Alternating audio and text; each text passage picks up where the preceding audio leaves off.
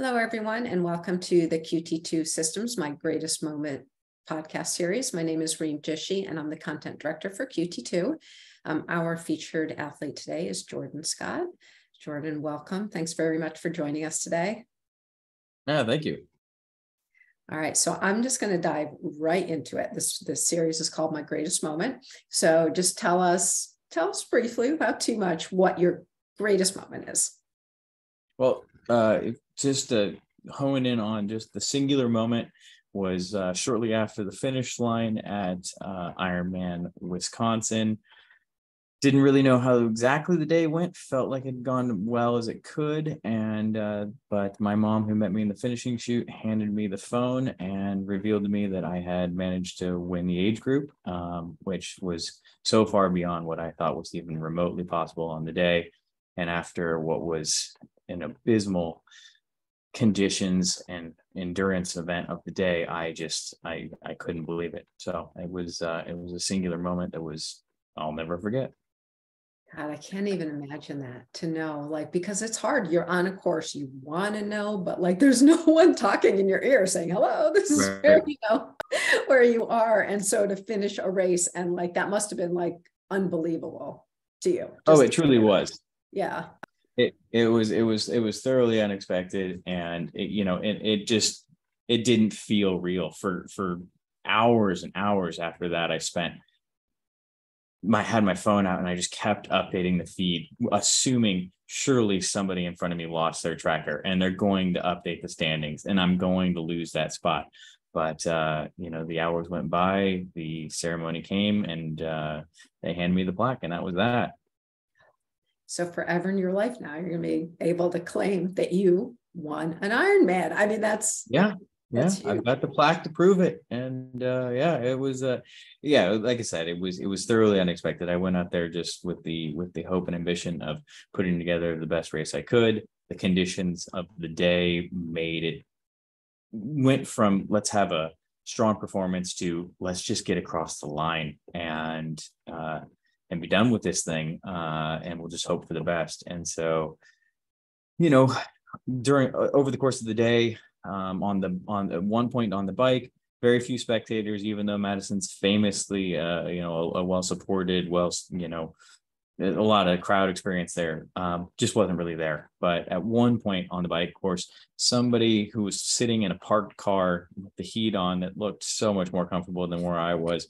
shouted out the window you're 21st i think something like that and I, I, I couldn't even reconcile what exactly how he was figuring that out yeah. but it kind of dawned on me sometime after like he must have been counting uh, there must have only been 20 some odd people that have gone by and there's a pro field and so i'm thinking to myself that's got to be good and then the same thing happened at the start of the run. I, I ran by somebody and they said you're in 17 i said oh this is good. This is this is good. This is enough and then I spent some time on the run with what I found out after the fact to be uh, the, I think, third place pro male finisher.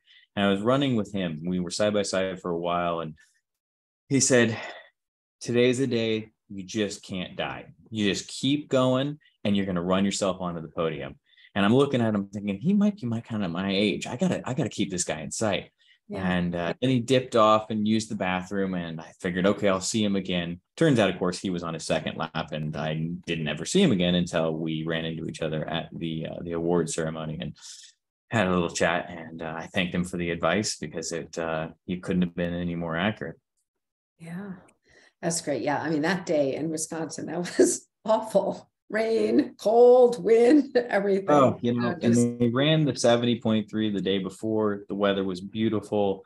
Uh, we went out to the finish line to watch people come across the line. I specifically went out to uh, to ask somebody at the med tent for uh, one of the uh, thermal blankets that they always give people. Because Bruce said tomorrow's going to be abysmal. Get a thermal blanket, fold it up, and put it on inside your tri kit on your chest to stay warm the next day. And so I went out there and I did that. And thank the Lord I did. It was an absolute game changer. I kept it on the entire race. And, you know, I'm sure that that kept me from shivering too hard and falling off the bike. And uh, yeah, I mean, the greatest piece of advice I might have gotten all day long. so anyway, yeah, it was the, the day before, beautiful morning of, I think about 10 o'clock at night. I looked out the window from the hotel room and I saw the rain start coming in, going out to transition. The wind is just howling. The rain is coming down in sheets. And I'm, I have no idea like how anybody is going to survive all day out there. And, you know, to be fair, something like something like three or four hundred people didn't that started the race didn't finish. A lot of people bowed out of the bike because they just couldn't. I, I talked to a couple of people who had lost the ability to shift because their hands were so cold, mm-hmm. And it was it was just tough. Uh, you know, it became such a grueling task. I remember when you came off the lollipop, it was like something like 13 miles back to transition, and I didn't know if I was going to be able to get there. I was just running out of gas. I was getting cold. And I just wanted to get off the bike and uh, got there, got turned around in transition, put the shoes on and said, okay, let's just go for it. Um, and then, you know, you're always a little bit warmer when you're running, of course. And so just trudged on, ran into Adam Farley or whatever his name was, um, and just he told me to keep going. And so I did. So uh, that was that. So that morning, when you show up to transition, it's pouring rain and freezing. Did it ever cross your mind that you weren't going to start that day, or you're like, "Nah, I'm here. Let's." No, it, it, it, when the weather's that bad, it is you know when it's miserable and when it's cold. Realistically, the most comfortable part of your day is always going to be in the water.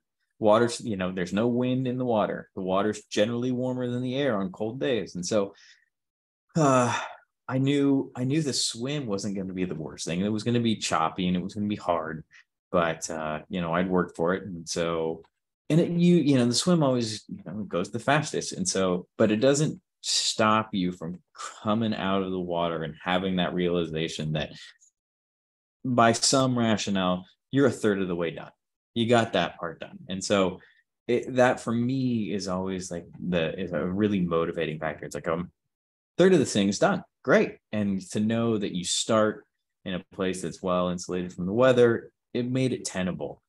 Um, but then when we got out onto the bike, uh it was like the first two miles, there's this part where you go through this this kind of maze they have set up in a parking lot, which had just terrible drainage. And so the bike course is going through places that are have like standing water that's three, four inches deep. And so the first thing that happens is your feet get soaked. And now you're, you're carrying around these cold, heavy feet, and you're like, this is just going to be how the day goes. And so, um, yeah, I just went out and kept on pedaling, kept, uh, tried to stay in the hunt, tried to stay warm. Power numbers fell off from start to finish. So it's probably poorly managed, but uh, it was it was just a day that we're continuing to move forward was really all the number one thing that was going to ensure that you got some, the result you hope for. Yeah. All right. So I want to I want to take you back a little bit to when you started triathlon. So talk to me about your first race, what it was, how you got into it, how you decided to do it. So uh mostly it was chasing a girl. Uh, my now wife, she and I met through some mutual friends um, uh, over drinks and by a fire, and we were talking. She was expressing, you know, how into running she is, how established she is. Her running career had been, and uh, how she had an interest in doing a, a half Ironman one day. And I, um, you know, didn't want to be timid or cowardly. So i said you know i'd like to do that. I could, i think i could i could find myself trying to trying to shoot for that as well. And so she said yeah okay uh well do you want to go for a run maybe uh this week uh, you know okay so i show up in you know practically basketball shoes and uh big long baggy shorts and go for this run with this girl that's coming off of you know a good performance in boston and i just got trounced but uh and I hurt so bad for the weeks to follow. But I just kept showing up for the runs. My gear improved, my performance improved, and she just kept pulling me along. And uh, we started, you know, we both individually started finding our way into the pool, started swimming more, started getting on the bikes, and uh, you know, we just put it together. So that way we showed up in Coeur d'Alene about a year after the that initial conversation. Um, and had a really fun time on the day. You know, felt very accomplished, the two of us together. By that time, now we're well, we're well together and happy. And uh, it was a, triathlon was this this context for our relationship to really blossom, and uh, it, it suited both of our personalities, and we kept on doing it. We chose, we did Coeur d'Alene, and then followed up with Santa Cruz after that, and uh, yeah, we just kept driving. So, uh, so well, we're still doing it, although she's uh, we just had our first, so she's been on a bit of a hiatus, but uh, she'll be back at it for Victoria 70.3 this year. All right. So when you say you said uh, Coeur d'Alene, Santa Cruz, those were 70.3s, correct? That's right. Those were my first. Yep. And what was the timing of of Coeur d'Alene? What year? in terms of finishing time, or no, no, time? just in terms of what year was it? I'm just trying to date back to when. Oh, sure, sure, of course. Yes. So Coeur d'Alene was 2018. Uh, because we met in 2017. In the fall of 2017, we raced the summer of 2018 in Coeur d'Alene. Uh, I did 70.3 Santa Cruz three months later. And uh, I think yeah, I think that's right. Yeah, in 2018 we did Santa Cruz, and then the next year we did um, I did Santa Cruz again. I did uh, Indian Wells uh, in 2019, just before things turned upside down for the pandemic. And we spent uh, a year on hiatus, kind of waiting for things to come back. All the races we'd signed up for had been deferred into XYZ. And uh, then come 2021, uh, coming out of the pandemic, my two friends that had kind of ushered me into the sport, um, one in particular, another QT2 athlete, encouraged us to sign up for our first full. So that was that was Coeur d'Alene in 2021, the uh, infamously hot day out there, and uh, so that was the first one. Uh, went pretty well, although I did take a tumble on the bike which uh, sacrificed my ability to have much of a run. But again, in similar fashion to Madison, it was just, it was a hot day. It was hard. It was about finishing. Got across the line, didn't have a great time, had low aspirations about how the day was going to go. Uh, went to roll down all the same. Found out uh, that the guy that was 90 seconds in front of me uh, took the final Kona slot for my age group. And so that kind of set uh, kind of irked. And I was like, okay, now I, I really got to do better than this. And so then I started chasing Kona after that. Yeah. So on your first, so just th- thinking about this timeline. So 2018, first half Ironman, and right. that came after not. I mean, sounds like you had been active growing up, but you weren't like you know intensely training. Right. No, no, no competitive level of swim bike run at all. Uh, the how I learned to swim with showing up for a for a like a offhand swim thing in college where you know on day one everybody's introducing themselves and their history in swimming. Oh you know i had a d1 scholarship. I won state and i'm, I'm just like i know how to swim. Um, and so you know i you know kind of in the same fashion that uh, that my wife you know got me into running you know i just put myself in the, in the company of people that were far more accomplished and far better than I was, uh, and then just started keeping up. Yeah.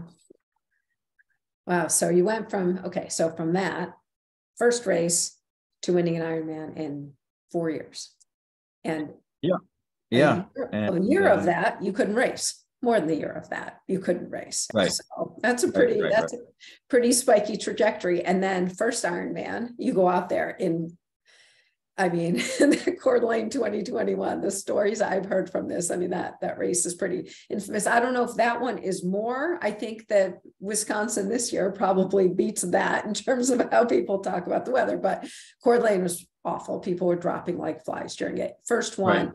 you have a crash, you finish, and you're like, oh my God, it was only 90 seconds away. So that's got to go and tell you, all right, there's something here.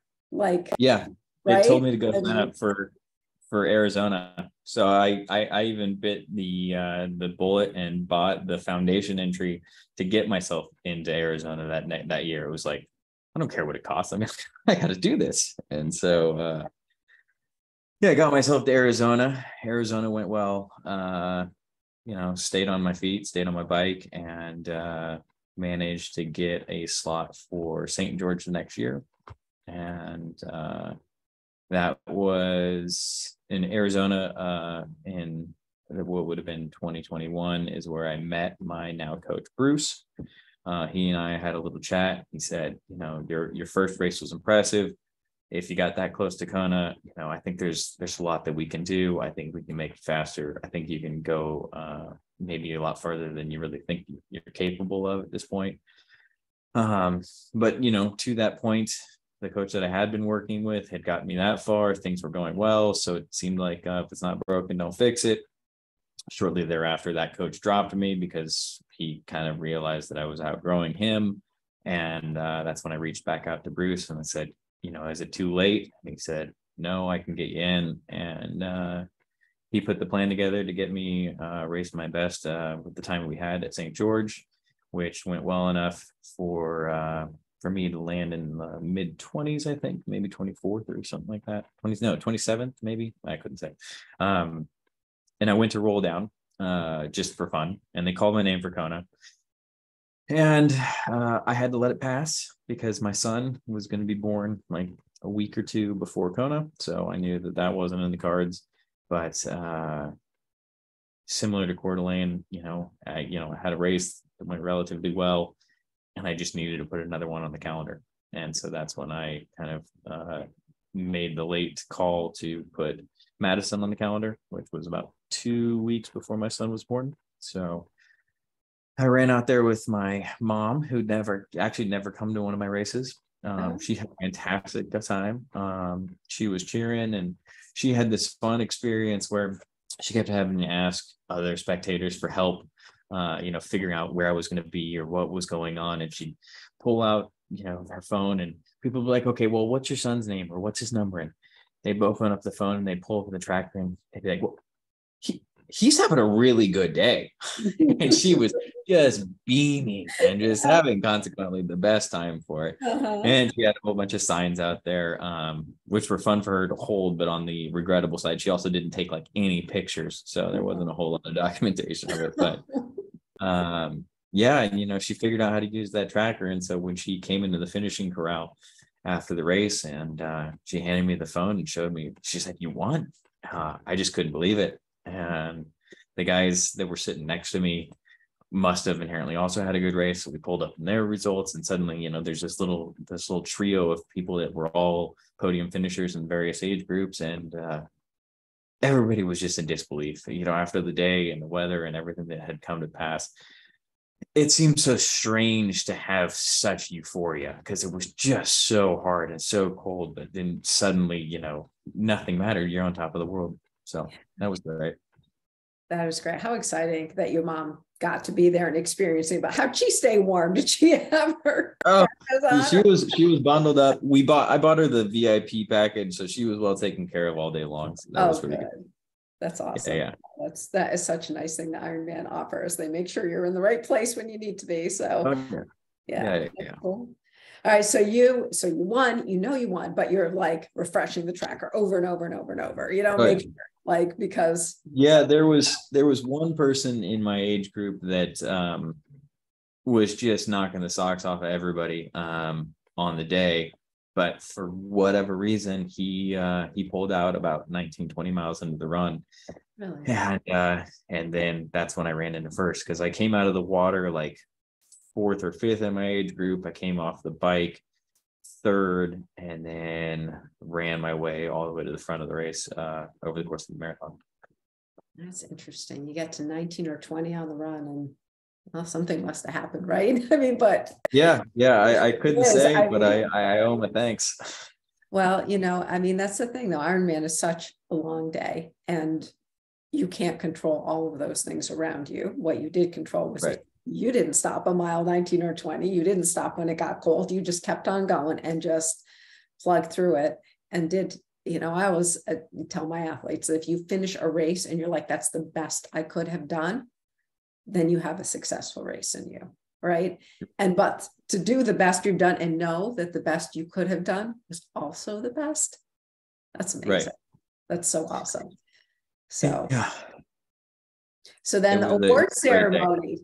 You get yeah. So tell how did like like hearing your name get announced as as winning? So yeah, I mean it was it was such a like I said, it, you know, it just didn't feel real for the whole after the race and the morning of the next morning going down. It's just like I kept thinking like, you know, there must be like a half dozen people that just lost their trackers and it's all this, and then you know we're gonna we're gonna reconcile back to kind of what my expectations might have been going into it. You know i'd like i said i'd hoped for a good race. I'd hoped to put myself close enough to the front so i could maybe get a kona spot um, for the next year and, and then take my family to hawaii and that was the hope uh, and so the the first place was just thoroughly unexpected um, and but it it just it was real. You know, they called, uh, they lined us all up to come up to the podium or to come up to the stage to collect the awards. And they, you know, they're asking, okay, what's your age group? What'd you place? And, you know, I, on a handful of occasions, I had to say, okay, first place. Okay. Then you stand there. And then Mike Reilly's on the stage and, you know, it calls up fifth, fourth, third, second, and then first place, our winner of the age group, Jordan Scott. I walked up, I collected my plaque. I, you know, I'm practically shaking and uh, just kind of looking out in the crowd, trying to figure out where to look for a picture. And yeah, uh, yeah, yeah, yeah. And I spent so much time staring at that plaque, like I can't believe this happened. Yeah. I think I would too. It'd be like right in front of me. That is yeah, yeah. That is that's awesome. I love this. I mean, clearly have a passion and talent for the sport. So so I want to know why you are racing and your wife is now what like eight months and three weeks pregnant, right? Oh yeah, she, she's yeah, she's she's well along and home and not particularly happy that her husband isn't there. Um, yeah. but I clearly was she tracking you during the day. uh, yeah, yeah. So she was happy. She was she was like, you just need to get home and get this done, and yeah. uh, so you know it was important I capitalize on the experience, and make the best of it, and so we certainly did that. So I called her after the race and said, honey, we're we're going to Hawaii. And uh, she said, sweet. So all right. Yeah, it uh I, I got to bring home good news. Anything other than that probably would have been a little bitter. But yeah, well, I think it's good that you got through the race before she went into labor. So that's like oh yeah, yeah. My mom had a sign that tough said, decision uh, if that had turned out a few days difference. oh yeah, I, I promised her I'd run to the airport, uh, you know, post haste, no matter where I was, if anything happened. And uh, and my mom had a sign that she thought was just hysterical, which said, uh, you know, hurry up, Mary called. I like, what? Luckily, I couldn't read, so I didn't. I didn't have to stop. But uh, yeah, yeah, we got a picture with Mike Reilly on that sign. It was uh, it was comedic the whole day long. Yeah. Oh, well, you, you certainly made the most of an absolutely horrendous situation, race, you know, weather situation on there, but you were stronger, overcame it. And God, what a, an amazing story. You will always, always have that. What a great story to tell your son and to, you know, just remember. Because yeah. when the days it get was, tough, you know, you'll have it to come back to. Yeah, you know, it was, eh, you know, it's it's it's an individual sport, but it is a team effort. You know, I, have got the support of my wife and my family, and uh, you know, I have I have infinite thanks to extend to my coach Bruce for uh, for for keeping me on track and and bringing the best out of me. And so, uh, you know, it's just been an honor to to to have this journey and have the support that I have, and uh, and to see how you know everything that we've done got me to that place and then that this place you know that accomplishment uh, has has extended my horizon and and given me the opportunity to finally uh, toe the line at Kona and uh, just to experience this thing as fully as I you know my as I've always hoped to. And uh, I'm just I'm I've just consider myself so exceptionally blessed and you know I'm so cognizant of, of how much help I've had along the way. Yeah. So it feels like honoring them uh, as much as it feels like honoring myself by by getting these results. Yeah. That's great. Oh, thank you so much, Jordan, for sharing your story. Just It's awesome. I'm so happy for you for everything that you that you've accomplished. And come October of next year, I'll be tracking you over at tracking you at Kona. Yeah, yeah. Well, thank you very much for taking the time.